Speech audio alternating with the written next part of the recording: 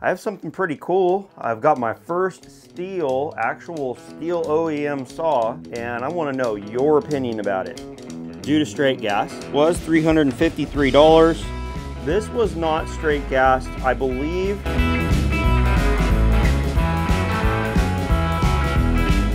Hey everybody, Joe the Oakie Woodsman here. All right, let's take a look here.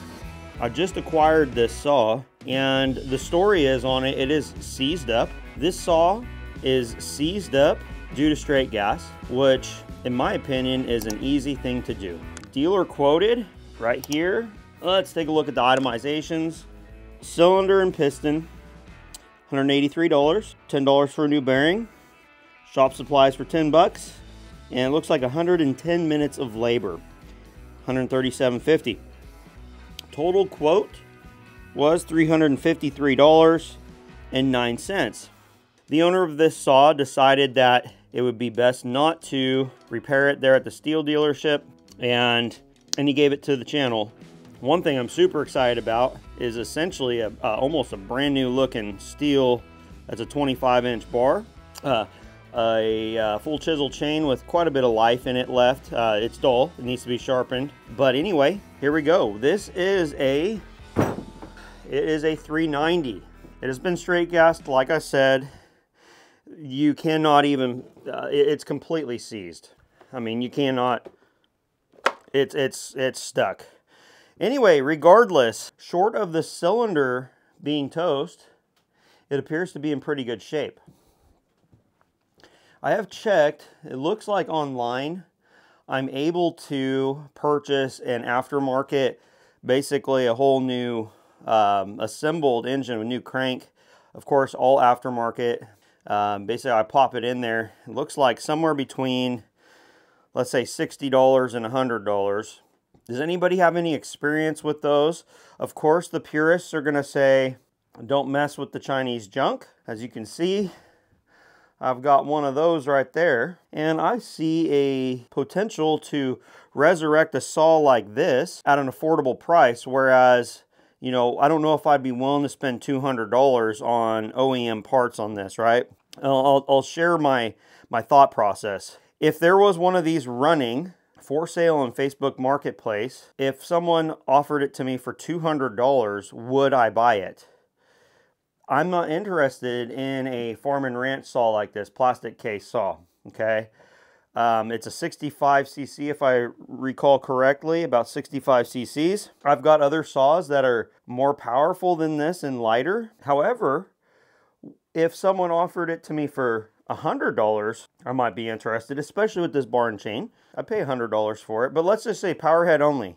If there was a good confirmed running 390 for 100 bucks, would I buy it? My position right now, probably not, but I wouldn't recommend against it necessarily if you wanted something like this. So repairing this with aftermarket non-OEM parts for somewhere between 50 and 100 bucks may very well be worth it. What I'm thinking is this. I have two young boys, as many of you know, and I would like to teach them some mechanical things. I, I want them to be able to work on, on, uh, on engines. And this would be a good way to just kind of get started, take it apart, put a new engine in it, put a new block essentially, and, uh, and get it running. It'd be something kind of neat. Now, I also do have a secondary saw that needs some work as well. This one's a little bit of a different story. I mean, remove the Stihl off the bench here. What do you guys think about this? Tell me. I don't know if I've ever showed this on the channel. This one's in need of some parts here. This is a 435. I've had it for a few months here. Um, it does have compression. It's low compression. It is missing the muffler, unfortunately. The person that gave it to me uh, did not have that. Let's see if I can get some light in there. Pretty hard to see. This was not straight gassed. I believe this is either going to be like an air leak type situation or running it dull. That's my guess. Uh, this was a friend of mine. Uh, he was cutting up a huge tree, or it could have just gotten hot, okay? He was cutting up a massive tree.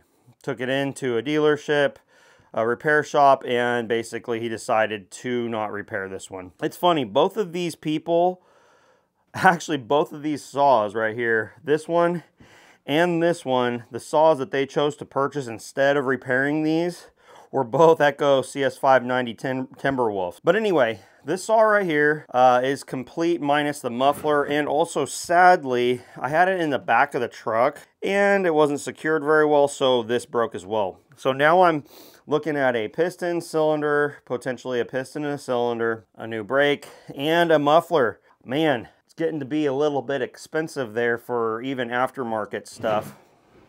100 bucks. Tell me, what do you think if this is worth doing as a project as well. Again, not that I necessarily want or need this saw working, but again, it would be a fun project to do with my boys. And they're also getting older too. Might be a good good thing to get them started as they get older, learning how to cut. My boys both really are excited about this saw in particular. Actually, they're quite excited about that saw too. They're also very excited about that saw too. Just the prospect of it, they're quite excited about. So again, let me know what you think about this saw as well. I know that's not a professional saw, but I'm certainly not opposed to, oh yeah, and if this has an air leak, let's, let's revisit that.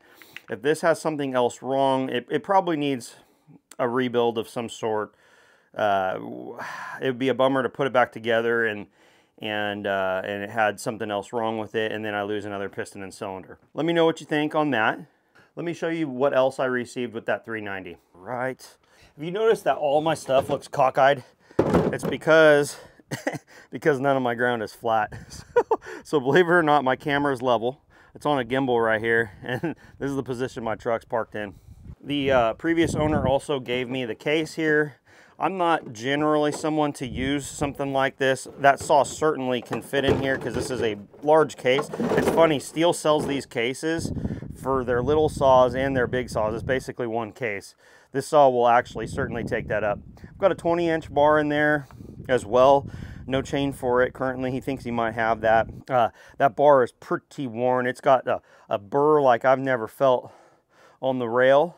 But I'll file it off and see if it's something that is salvageable. So yes, got this one as well, which is pretty cool. Got the the sheath, got the um, got the one that came with this, and then also on top of it, the other one, which is nice on that 25 inch bar as well. There is another tool that I have that um, I think I might have mentioned, but I've never shown it on the channel. I have a basically a brand new Husqvarna backpack blower. It's one from Lowe's. Uh, that was also straight gassed. So everything on that, it has probably less than an hour on it, and the uh, the previous owner straight gassed it and gave it to me because uh, they've replaced it already. Again, the quote was more than they were willing to spend on fixing it. So um, I've also got that.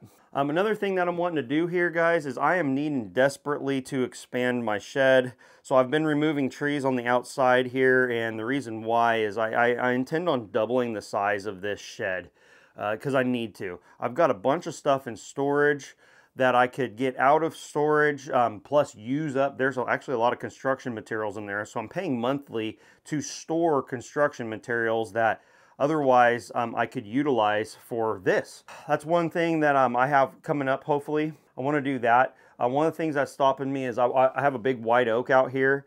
Um, I'm gonna, I want to climb it and I do not have a top handle saw. I really want to get one of those little Echo saws because I, I I, I really should have a top handle. Um, but this tree right here, I'm probably gonna, I'll, I'll probably climb this thing because I don't want to tear up the shed and kind of just top this thing out, limit as I go up. And I do not want to do it with a rear handled saw. I've got all this stuff that is just getting obliterated out here. Um, if I build this out, I'm gonna basically build this out flat, be another eight by 16 unit. And um, if I do that, the floor will be about up here it'll be pretty pretty darn, darn high. I'll be able to use it for storage to get some of my um, stuff that I don't need in a shed out of the weather. So that'll be nice as well. I'm gonna do another shed roof coming off this way. I'll leave a little bit of a, a flat right there probably and then, and then have another uh, slope here because uh, that wall's about 10 foot tall there. I'll probably uh, uh, maybe come like a foot and a half down and then slope it off this way and build it out. Put a door where my workbench is on the inside and uh, and and get get me some more uh, real estate inside of that shed. So with that being said, I would certainly appreciate any advice, comments, uh, anything like that on the upcoming tasks. Um, I also do need to get on that uh, that treehouse for the boys. I need to I need to keep going on that as well. So uh, got got to get that started on them. They've uh, kind of they probably haven't forgotten about it, um, but they haven't been bothering me on it, and uh, I want to get that started or not get it started. We've already got a great start. I want to get that going for them so that way uh, that way they can make use of it. So Oakie Woodsman here. Thank you for watching the video. You have a good one, and I'll see you on the next one.